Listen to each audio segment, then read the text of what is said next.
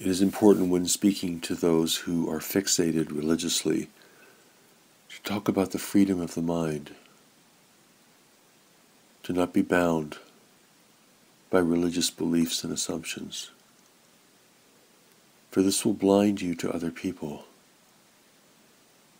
It will blind you to other faith traditions. It will blind you to the work of God, who moves through all things the Spirit of God who moves through all things, within and beyond one's own religion, and within and beyond the religions of all others. For in a universe of intelligent life, there are countless religions.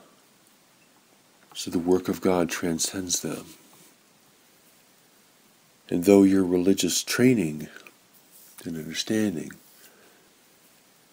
may prepare you for a deeper experience.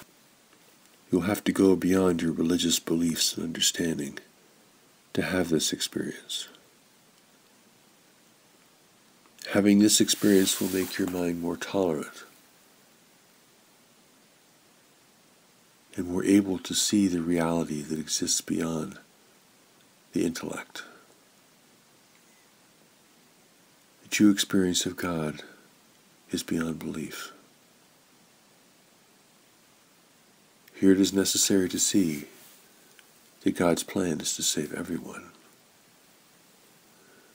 Therefore, there can never be just one teacher and one teaching.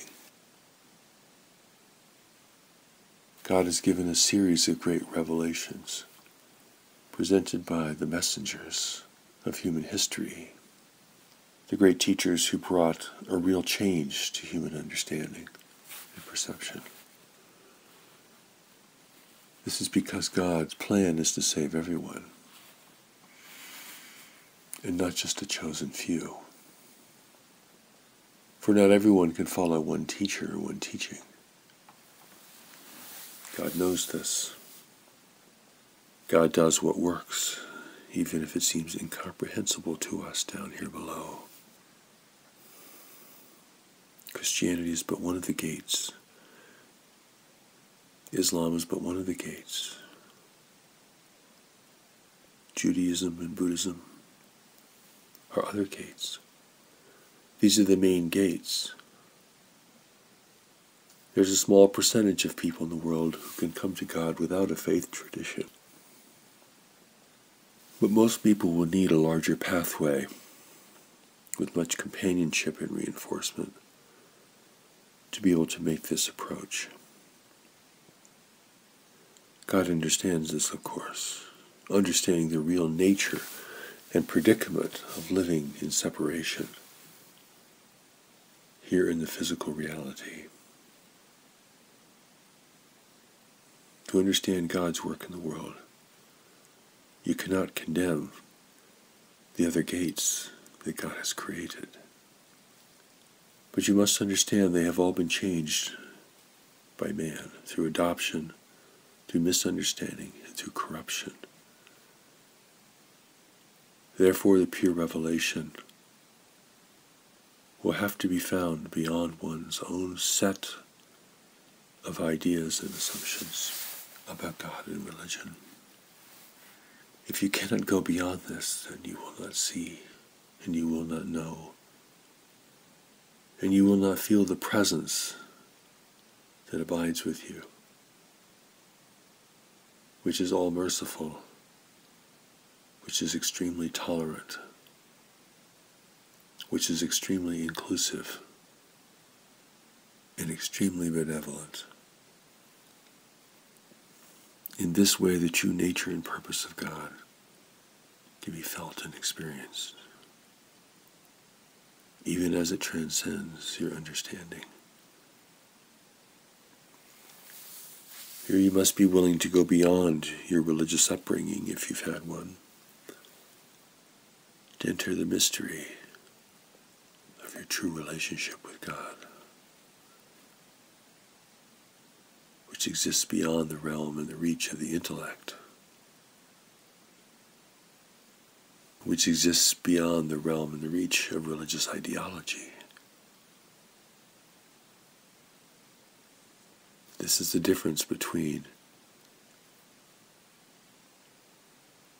one who is true to their faith and one who only believes in and defends its principles or ideology.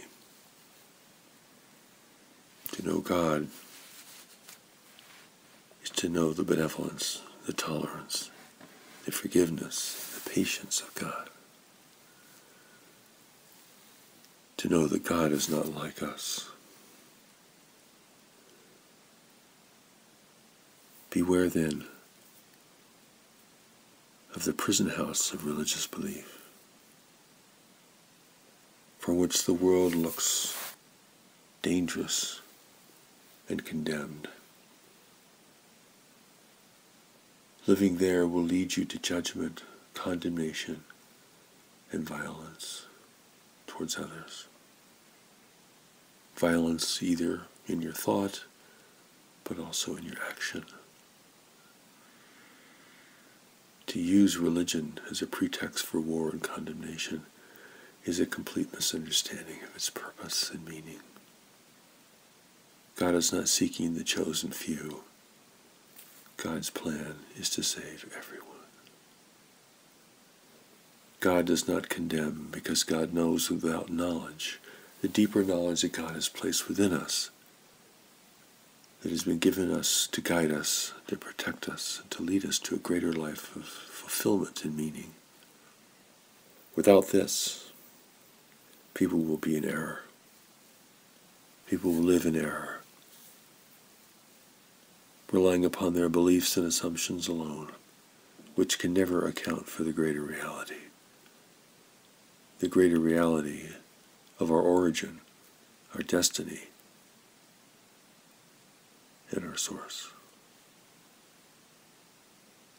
Know that you must transcend your belief in order to have the direct experience. In order to step beyond the limits in the prison house of the mind. For you can only be separate from God in your mind, in your thoughts, in your beliefs.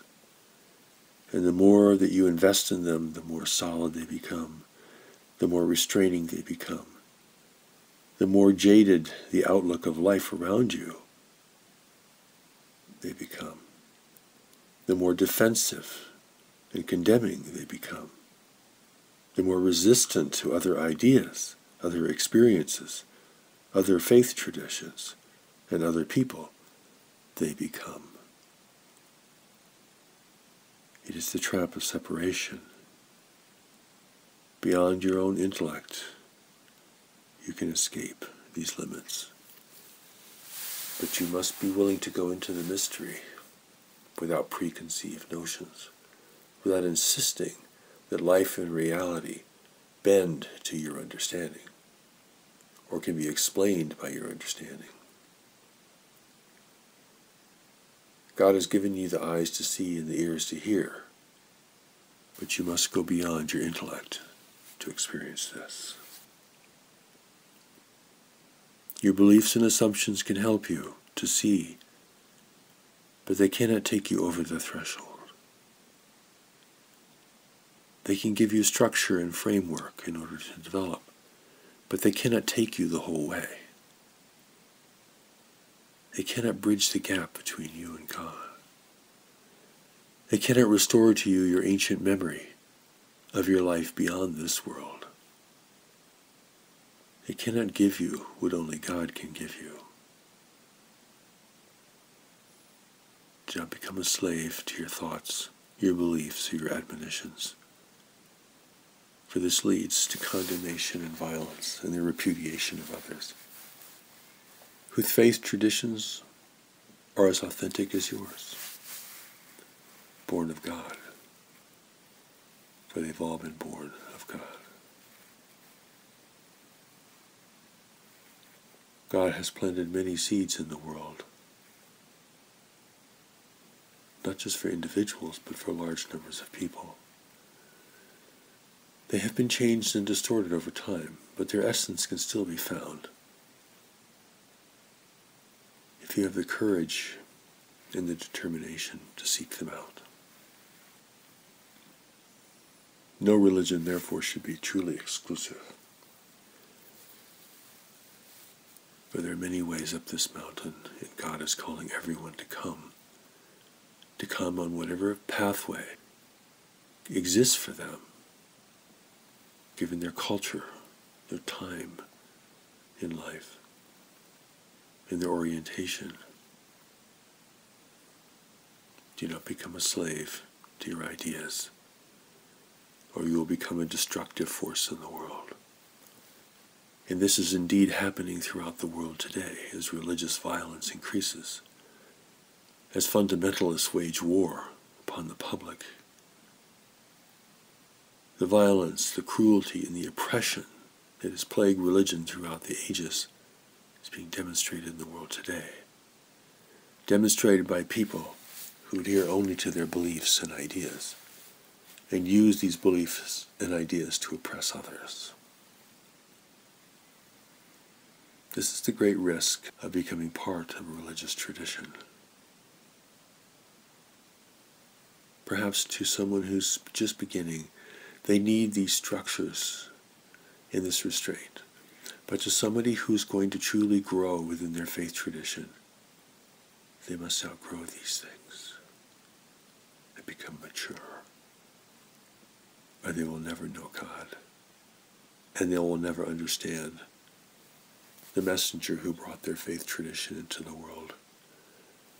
And they will never appreciate how God is really working in the world beyond the reach of the human mind.